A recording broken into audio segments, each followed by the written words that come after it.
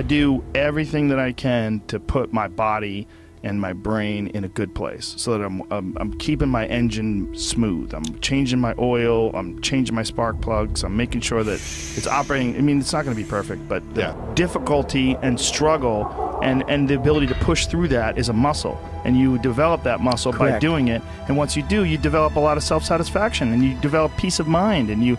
You understand that you can overcome obstacles. If you don't have to overcome obstacles, you never know whether or not you can. Unless you are faced with actual adversity, you don't understand how you're going to feel and how you're going to react when you overcome that adversity.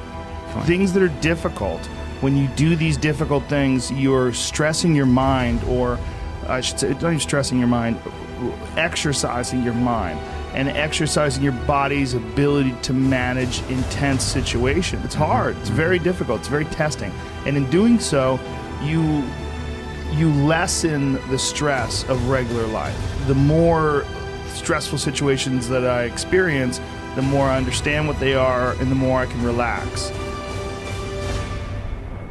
There's a great feeling in these overcoming these difficult things because life is never this just constant state of I'm at a nine all day, and when I'm with my wife, I hit 10. Yay! And I stay like that. That's not real.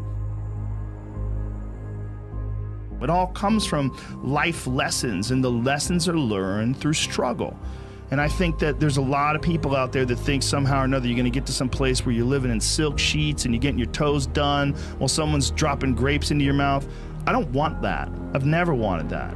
That guy's not going to be happy. You have been fed this line of horseshit that you're supposed to seek comfort. And I don't think you are. I think you're supposed to seek lessons and you're supposed to seek difficult tasks and, and, and, and, and accomplishments. And through those things and through doing things that are hard to do. Because if I just think, well, tomorrow I'm just going to coast and eat Twinkies and watch TV. Oh, hello, sadness, my old friend. Hello, depression. And we can pretend that we're something other than what we really are. And we can pretend, nah, me, man, I'm just cool, just chilling, doing nothing.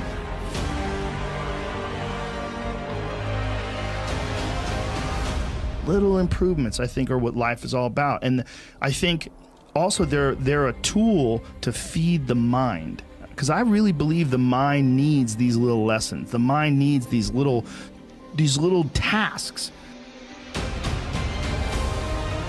stimulation and reward, lack of these peaks and valleys, and this again this bullshit idea that we're constantly fed that you should be comfortable.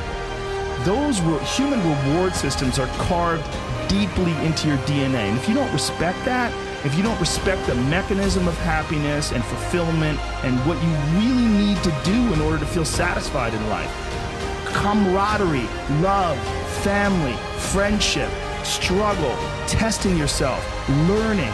All those things are imperative. They're all a giant part of being a person.